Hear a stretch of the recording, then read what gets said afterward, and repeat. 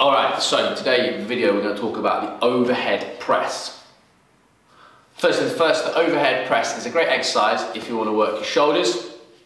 Okay, obviously if you want to work chest, you'll get tricep, and also to some extent you're going to have to use your core muscles and your glutes to make sure that you're stabilizing your body uh, and staying in a good position. But the biggest question is, should you overhead press in the traditional way, which is like a shoulder press, or should you modify it? So we're going to show you a quick little exercise to see whether you should or shouldn't be doing it, and then we're going to show you an exercise to do if you shouldn't be overhead pressing. So come with us, and let's see what happens. So as I said, the biggest question is, should you be overhead pressing? Now, for a lot of people, you spend your day in this position at a desk, okay, you're going to end up having very tight pecs. Okay, you're going to also have tight shoulders and more than likely you're going to have a tight thoracic spine. So you're not going to be able to get the movement. So a quick little test we do to say whether or not you should be overhead pressing is this. Lie down on your back, get yourself into a neutral position with your spine, take your hands up to the ceiling. Now, if you take your hands down to the floor and you can maintain that spine position, you don't allow your ribcage to flare, and you're all right here, then you can overhead press. However, if in this position when you start to take your hands down, you start to run out of mo uh, mobility or range of movement in your shoulder. And you have to flare your rib cage and arch your lower back to get your hands onto the floor. Okay, that is a big no-no. So that's when you don't overhead press. So if you can keep your back in neutral, you can get your hands to the floor, go for it.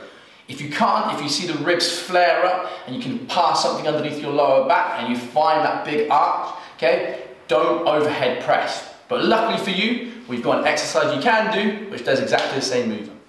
And as if by magic. All right, this is the landmine press, or as we call it, the jammer press.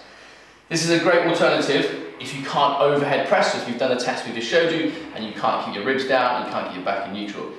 So you can do this, we have a jammer attachment, but you can do this by also putting a barbell into a corner of a wall with a towel or between two weights. But Essentially, it's the same movement, we're still overhead pressing, but it allows us to keep our spine in a much better position. There's no need for us to get our hands overhead so we can keep our ribs down, but you're maintaining the same movement. So pressing from the shoulder, we're getting a bit of pec as well, the triceps are working. You're squeezing into your bum and you're keeping your core nice and tight with the ribs down and that spine in neutral. So you can do this, okay, in a split stance, you can do this in a double kneeling stance, probably got the pad a little bit far away. And obviously you can do this standing up as well. So we mainly do this in a kneeling position because it helps people to take the hips out of the movement and just maintain that movement coming from the shoulder as opposed to us trying to drive from the hips and get it. We also don't want to see people twisting into this. So if it starts to get too heavy and you're you're having to twist all over the place and you can't maintain that tightness through the midline, all right, drop the weight down a little bit. But a really good exercise does exactly the same as an overhead press, but for those of you who sit at a desk, a little bit rounded all day, this is probably a better alternative for you. If you like the videos, if you like what we're doing, like, share, show it to friends, okay?